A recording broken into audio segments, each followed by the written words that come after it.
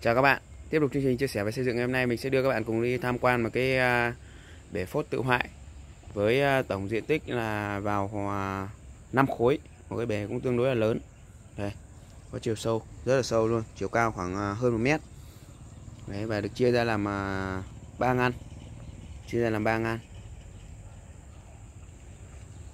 Được chia ra làm 3 ngăn như các bạn quan sát thấy với à, cái à, bể phốt này thì à, nó vào khoảng 5 khối. Rất là rộng. Đây đây là hệ thống đường vào đây. Đây là đường vào này. Đây, đường vào. Cái ngăn to này thì là ngăn chứa. Ngăn to này thì ngăn chứa. Đó. Ngăn to này là ngăn chứa đây. Sau khi ngăn chứa xong thì nó chuyển sang ngăn tràn. Đây ngăn này là ngăn tràn. Ngăn bé này là sang ngăn lắng.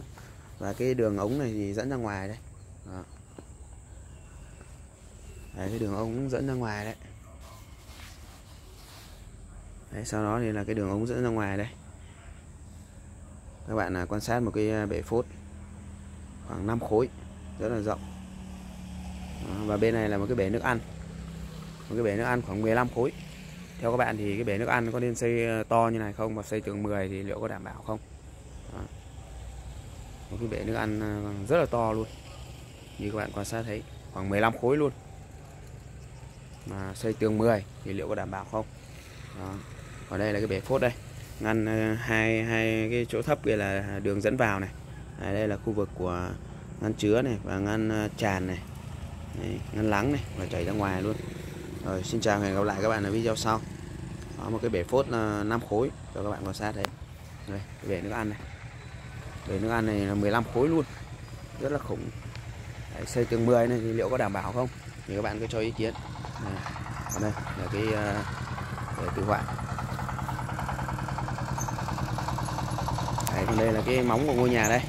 Cái móng này thì uh, diện tích chiều uh, mặt tiền là 5 mét và chiều sâu là 20 mét. Thì các bạn là quan sát thấy nó rất là khủng luôn. Một cái móng cực kỳ là khủng luôn. Đấy. đây là ô, ô của phòng khách này. Ô của phòng khách này là 25 mét vuông này.